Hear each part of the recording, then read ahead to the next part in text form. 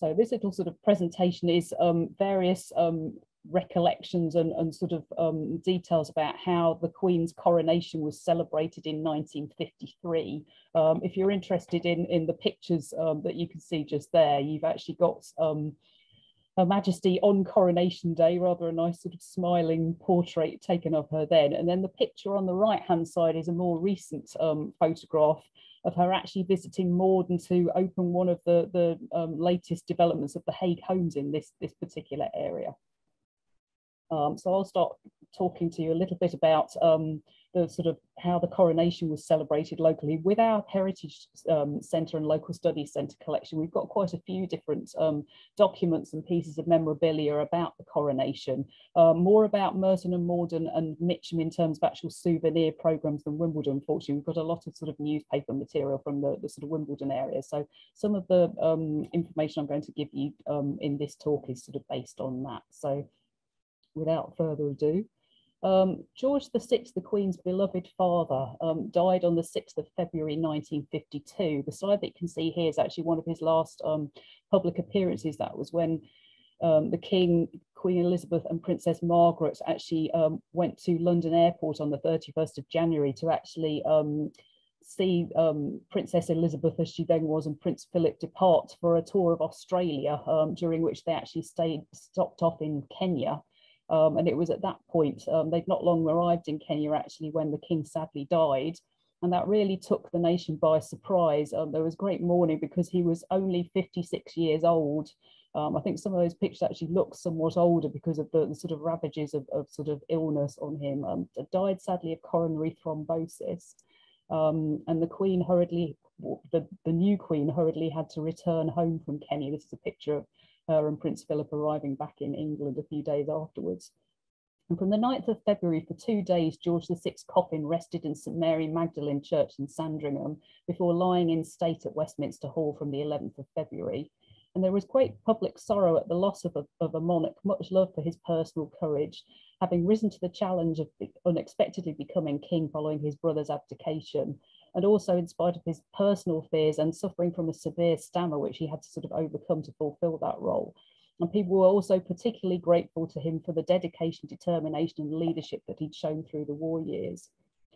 So following the, the death of the king, local dignitaries gathered on the steps of local town halls around Merton to announce the death of the king and to proclaim the accession of Elizabeth II. Here you can see Councillor Madgwick, the mayor of Mitcham, um, flanked by the local MP, just standing just to his um, right there or left in the picture, as you can see. That was Robert Carr um, proclaiming the accession of um, Queen Elizabeth II. And King George's funeral took place at St George's Chapel, Windsor Castle on the 15th of February. And newspapers and cinema newsreels showed striking images of the funeral service, including the one that you can see on the right hand side, which shows three queens together united in mourning um, on the far left-hand side there, you can see um, the new young Queen Elizabeth II. In the centre, you have her grandmother, George's mother, um, Queen Mary, and um, Queen Elizabeth, later the Queen Mother on the right-hand side there. Um, the king was initially interred in the royal vault until he, his body was later transferred to the King George VI Memorial Chapel at Windsor on the 26th of March, um, and that was in 1969. It was transferred several years later. After the hardships of World War II, the 1950s were seen as a new beginning. The 1951 Festival of Britain had already given a glimpse of what the future could hold for Britain. This was a celebration of colour, culture, and new technology. And the young Queen's accession was seen as the dawn of a new era, bringing hope of progress and prosperity for all. Planning began in earnest for events to mark the coronation, scheduled to take place at Westminster Abbey on the 2nd of June in 1953 coronation celebration committees were set up across Merton, which with much support from the local clergy and community organisations. Services of Thanksgiving were held in parish churches, coronation souvenirs were distributed to local school children, and the council also announced that prizes would be issued for the best decorated shops and gardens. So I'm going to give you a few more details now about how things were celebrated in the Merton and Morden Urban District Council. That was one of our predecessor authorities prior to the um, creation of the London Borough of Merton in 1965. So on the 30th of March 1953, the esteemed members of Merton and Morden Urban and District Council resolved to present a loyal address to Her Majesty under the common seal of the council. And you can see, see that particular address here. Um, so just reading out the humble, loyal and dutiful address of the Urban District Council of Merton and Morden. May it please your majesty, we the chairman and members of the Urban District Council of Merton and Morden on our own behalf and on behalf of the inhabitants of Merton and Morden desire to tender our loyal and sincere congratulations on the occasion of your majesty's coronation.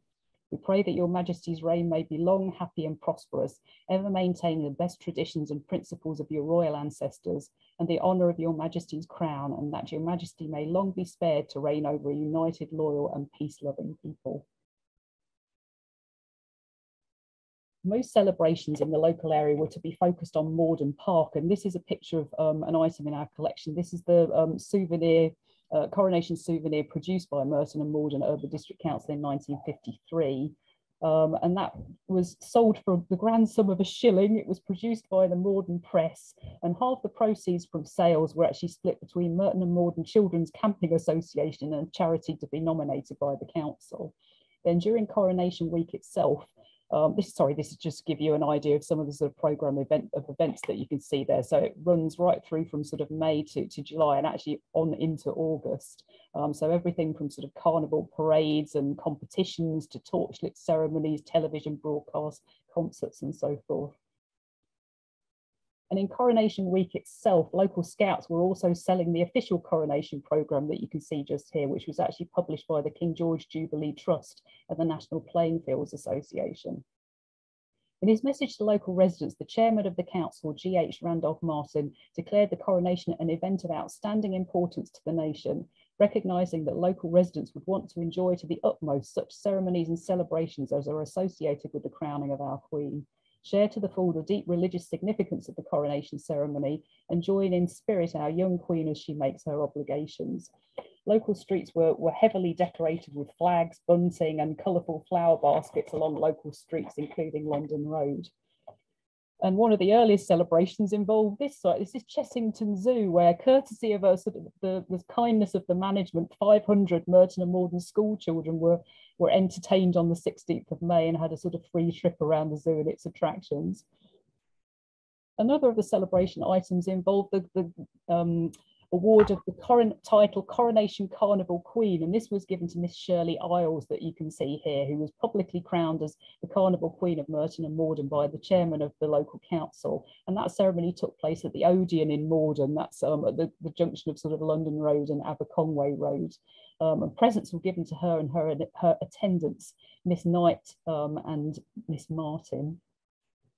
On Sunday, the 31st of May at 11am, Merton Parish Church hosted a civic service. There are also local services throughout the day and similar services held at other parish, parish churches across Merton. But this is actually um, a united service held at three o'clock at Morden Park, and that was arranged by the local clergy. That was actually preceded by what they call a procession of witnesses. That's representatives from local churches, scout and guide groups, and so forth, who processed from local churches to Morden Park. And choirs from local churches and local choral societies were also in attendance, directed by the Vicar of Merton, Reverend Renshaw, and supported by the Band of the Salvation Army. And these services contained a whole mixture of um, blessings, hymns, thanksgivings, plus the national anthem, of course. Now, historically, the, the 1953 coronation was, was a, a, moment in history because it was the first coronation ceremony to be televised. Several of you have spoken about memories of that. Um, and on Tuesday, the 2nd of June, um, television broadcasts of the coronation were shown throughout the day at Merton Public Hall. Invitations were actually sent out to, to elderly local residents um, and broadcasts were also organised for patients of Nelson Hospital. At 10 o'clock on Coronation Day, there was a torchlight procession of scouts and guides that went from Central Road, Hillcross Avenue and Martin Way to light a beacon fire organised by the National Trust and the Scouts Associations at Morden Park followed by a local sing-song.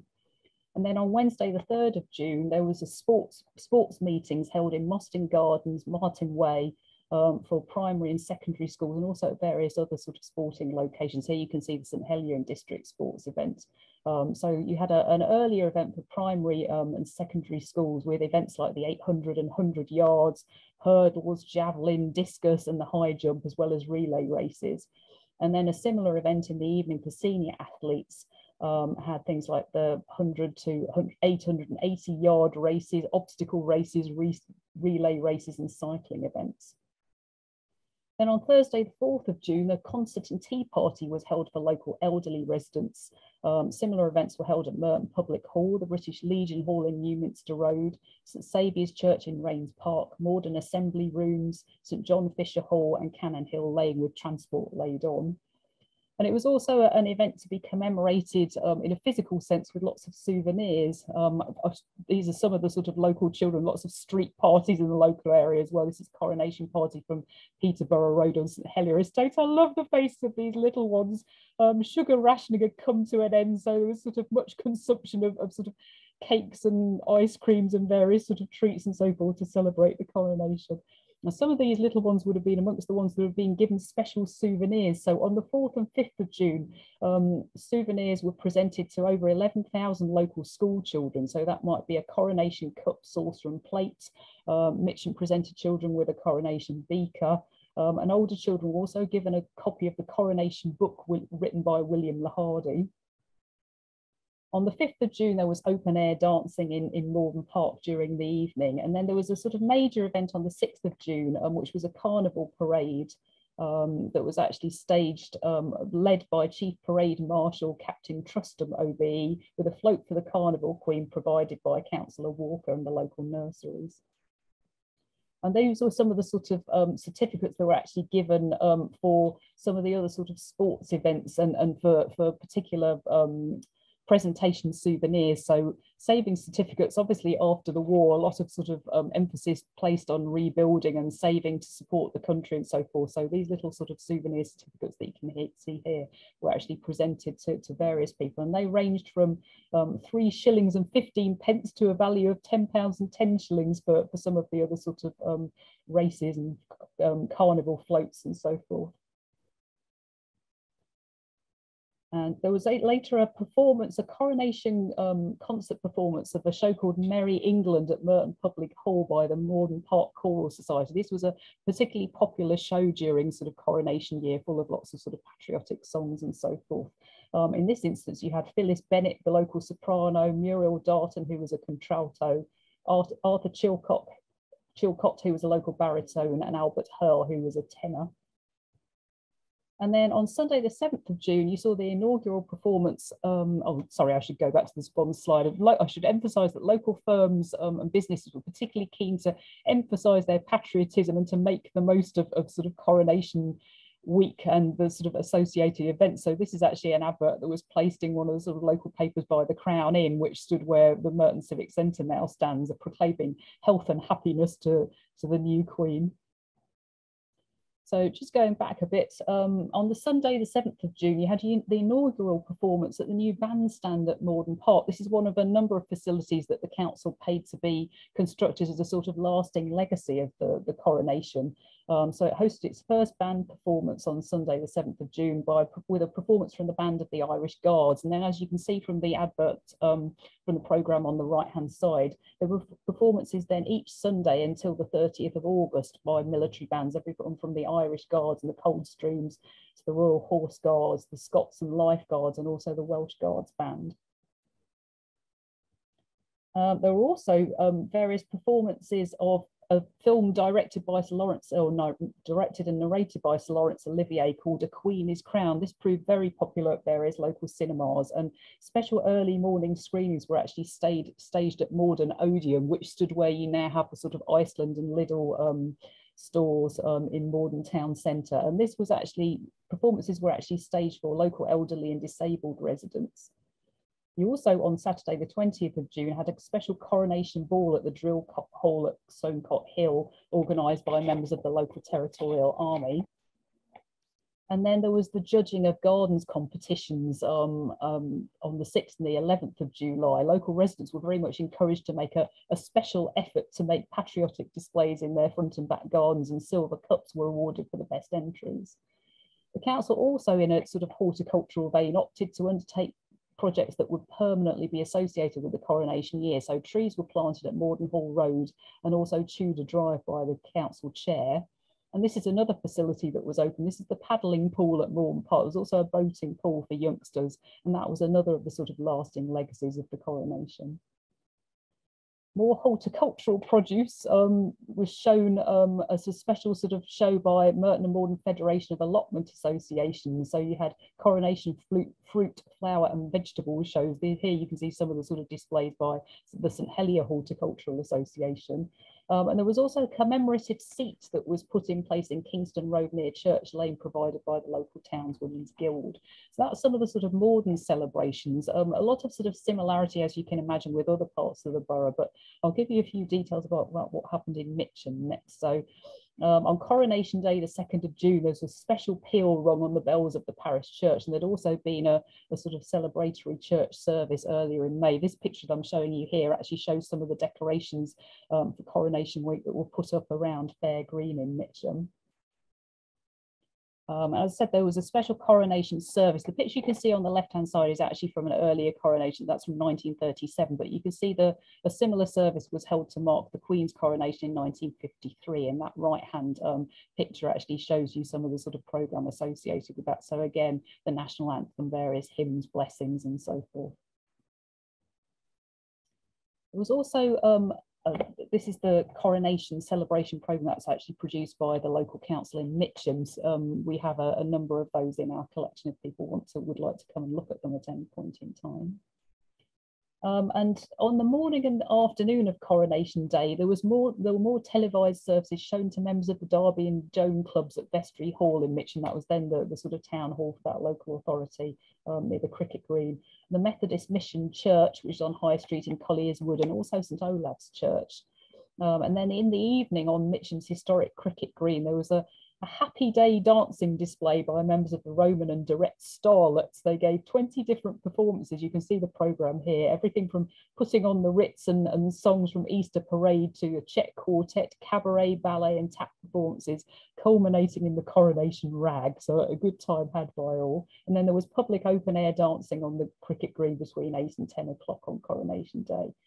Um, followed but on at 10.30 at Three Kings Piece by the local mayor lighting a coronation bonfire and there was also a firework display there as well.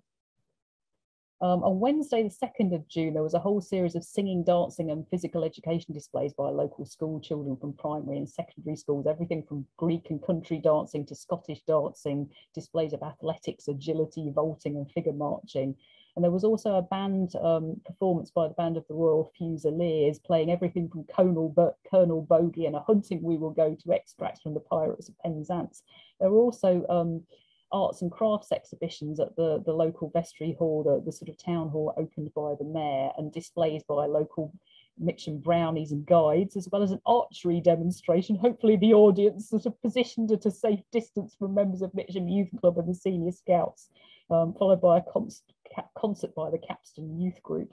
And appropriately given Mitcham's cricketing history, you had a, a special period cricket match which was staged in full costume.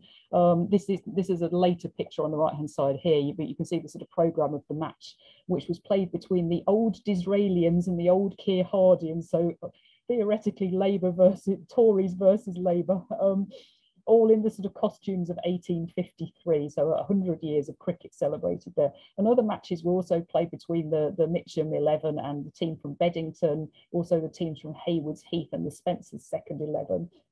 And that was later followed in the evening of the 5th of June by old time dancing. But the, the major celebration in Mitcham happened on, apart from Coronation Day itself, happened on Saturday, the 6th of June, which was the coronation procession.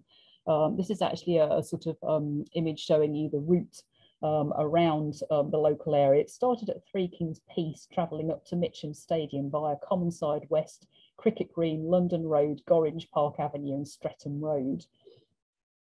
And these are some of the organisations that you can see taking part. So you can see some, some character people. So Mitcham's version of Charlie Chaplin, lots of so local sort of cadet forces, the Boys Brigade, the ATC, um, the Army Cadets and so forth. You have local companies represented there. So for example, TW Palmer was a sort of um, white metal manufacturer. You had various medical contingents. You had um, Young's Brewery was represented, dancing schools, local community associations and so forth. And I've got some pictures that I can show you of some of the participants. So there's Mitcham's Charlie Chaplin setting off from Three Kings Piece, um, followed by the members of the 70th Boys Band Brigade. And this is the Mitcham May Queen with her attendants pictured on their sort of float just there. And this is um, traveling down um, London Road in Mitcham. So just in the background all decorated up, you can see Mitcham Library. So you've, you've got some of the sort of um, army cadets and so forth there. And this is some of the local guides and similar sort of view. I, I love this picture because if, especially if you look in the top left-hand side, you've got some of the local little ones all dressed up in sort of family dress for their fancy dress for their sort of street parties and celebrations and so forth. And this is the Mayor of Mitcham awarding first prize um, for the Carnival Parade, the, the, sort of coronation procession parade to the Romany School of Dance for their parade entry. Um, and other prizes went to, um, this is a sort of float, um, there's a lot of sort of Elizabethan history um, associated with, with um, Mitcham in terms of Elizabeth I. So that was also represented at the coronation of Elizabeth II. Um, so this is a float produced by the Mitcham County Grammar Schools that won the first prize in the historical category. And you also had a similar prize was went to the industrial contingent went to Young's Brewery. And this is the sort of um, um, program for the, the grand entertainment it was, was called at Mitcham Stadium near, near Sandy Lane. So all sorts of youth displays, athletics, relay races, obstacle courses. Um, you had um, the a guard of honour from the Benbow Mitcham Sea Cadets, Army Cadets and the ATC. Um, you also had displays by various youth organisations. There were a whole lot of sort of themes on the dedication of youth to service for the Queen, country and people in the new reign. And there were various six-side football um, events between Mitcham and Tooting versus Frinton Rovers. They also played a team from Wand Gas, so the sort of local gas corporation. Um, and then there was a sort of match between the winners of the first two matches. And these are some of the sort of torch bearers. Um, there was a sort of special torch bearers um, procession by representatives from local youth and sports groups where they, they pledged an Athenian oath um, to Her Majesty the Queen, a sort of duty of service. And then that was followed by all sorts of um, activities, everything from sort of a pageant depicting cycling through the ages, staged by Mitcham Cyclist Touring Club, model aircraft flying displays, um, physical education displays. Here you can see the East Surrey Boys Brigade at Mitcham Stadium. Horse riding races and obstacle races, a bit of a sort of unusual setup in that sort of scenario there. And you also had um, more um, film screenings. So um, Elizabeth is Queen was another show that was um, shown at the Mitcham Majestic Cinema that stood roughly where you now, now have the entrance to the pedestrian precinct on Fair Green. And every morning of coronation week, um, there were special screenings for older school children with shorter versions shown at the local primary schools. And the council also gave grants to Wilson Hospital, Cumberland Hospital, um, just off Birches Close, and Woodlands Maternity Hospital in Colliers Wood to stage their own special coronation celebrations. And local parks also excelled in producing floral displays. So this is a wonderful example created at Tamworth Manor Recreation Ground. This must have taken thousands and thousands of plants um, carefully tended by the local sort of parks department to produce this um, coronation symbol to celebrate the Queen's, Queen's coronation. So I'll give you a few more instances now what happened in Wimbledon. So this was described, um, the, the, Wimbledon celebrations were described as something to rival any held in the district's history. Um, the mayor, Sydney Black, started off um, in May by staging a garden party at Cannizzaro Park um, and later a banquet at the Wimbledon Hill Hotel um, if you can just see this picture, this is um, Wimbledon Village, and you can just see on the far left-hand side there the, the Wimbledon Hill Hotel, which was used for quite a lot of prestigious events at the time. And it said that crowds gathered outside hoping to see Winston Churchill arrive following Sidney Black's second election as mayor. Winston was apparently a freeman of the borough, but he wasn't actually present at this event. However, 200 esteemed guests were, um, including the Lord Lieutenant of Surrey, General Sir Robert Haining, um, Sir Godfrey Ince, Leslie Hore-Belisha, who lived locally and was an MP and a former Minister of Transport, and also Air Vice Marshal Savage. And the mayor also visited local schools such as Dundonald School to give out coronation spoons and books to the local children. It's also worth um, bearing in mind that several local residents would have actually taken part in the coronation ceremony itself, either as part of the Guard of Honour or in this instance, this is the coronation choir that performed at Westminster Abbey, and that actually included a number of choristers um, drawn from various Wimbledon churches. In late May, um, the Minister of Education, the Right Honourable Florence Horsburgh MP, also opened a new Coronation Hall at Ashcombe Road in Wimbledon, and that had been given by the local MP, um, Alderman Cyril Black, um, for youth and community use. Um, there was also a whole series of coronation football tournaments. Um, and then on the 1st of June, Wimbledon Philharmonic Orchestra gave a concert um, at the town hall, including a special coronation fanfare. Now, as some of you um, recalled, um, Coronation Day itself actually started with wet weather. Um, some of people's earliest reminiscences were, were them sort of visiting through the drizzle to sort of go to the houses of friends and relatives to, to sharing, watching their bought or rented televisions to, to watch the coronation, um, official coronation ceremony in London. There are also a number of street parties and public celebrations at local recreation grounds at this time, including a vast children's event that was actually staged at Cottenham Park. Staged at Cottenham Park. Um, Wimbledon Town Hall also hosted uh, in their committee room suite special um, coronation procession screenings for elderly residents um, Mayor Black had actually set up at 6.30 in the morning himself to actually attend the procession in London and his sort of mace bearer and chauffeur recounts that even at seven o'clock in the morning traffic was five deep um, by the time they got up there. He obviously had to come back to Wimbledon later in the day to take part in local celebrations. Um, and Marlborough Hall, which was stood just behind um, Wimbledon Library, is now what's remembered or more familiar as, as the local reference library in Merton Art Space um, staged a whole series of events for um, housebound people. The local Red Cross entertained 55 normally housebound people aged between 8, 15 and 85, treating them to a television broadcast, lunch, um, guests were ferried in cars provided by local charities and Ely's department store even de department store even sent furniture vans um, to carry special settees so that everybody could be accommodated. And there were also a whole series of TVs set up in the Wimbledon Hill Hotel so that more local people could watch the ceremony.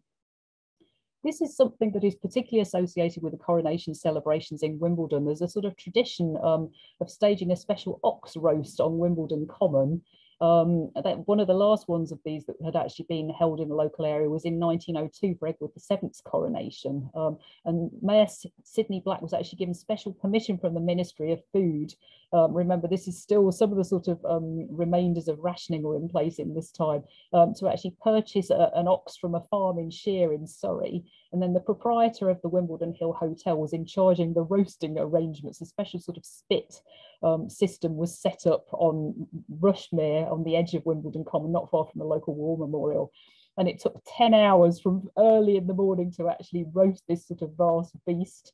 Um, and the idea was that um, the mayor would actually um, cut the first slice um, and then various local chefs would actually cut the remainder, which would then be distributed um, to, to old folks' homes in the area. In fact, hundreds of people gathered to watch the, the first sort of slicing being done.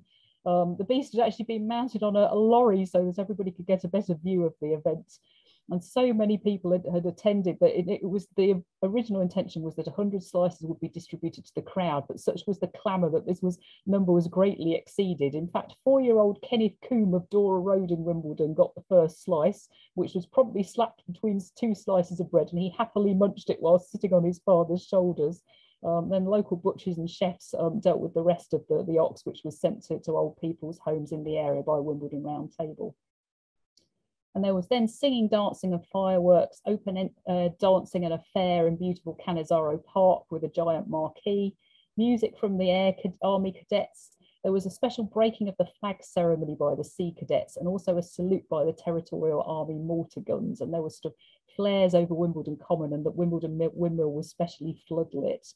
There were also lots of street parties um, and screenings of coronation films at Marlborough Hall and local cinemas shown in, in CinemaScope, so glorious Technicolor for the first time for local people um, to be able to see this event. And, and these, I'll just finish off by showing you a, a few sort of rather hazy pictures of, of coronation street parties in the local area. So these ones show um, coronation celebrations in Wimbledon Chase lots of rather bemused little ones all in fancy dress there. And these are some of the pictures um, taken from the celebrations at um, Hardy Road um, in Wimbledon. So you can see the, the sort of bottom right hand picture there. You can see um, people making the most of the um, end of sugar ration. They've got a large cake um, that little ones are obviously look, looking forward to slicing up and lots of people in fancy dress celebrating there and there would have been singing and dancing at the end of that celebration as well.